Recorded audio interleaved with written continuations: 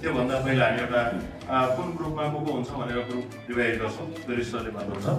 र group divide भइसकेपछि हामी बाहिर चिया कफी छ चिया कफी लिन्छौँ र तल ग्राउन्डमा ग्रुप अनुसार चा- चारवटा ग्रुप चार ठाउँमा बसेर